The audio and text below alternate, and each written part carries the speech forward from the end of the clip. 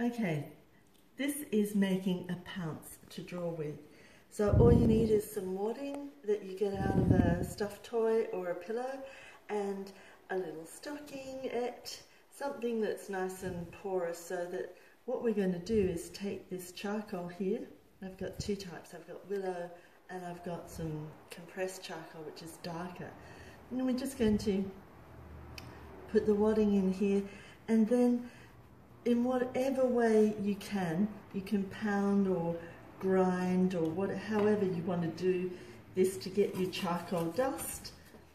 I might just put it in a container for ease.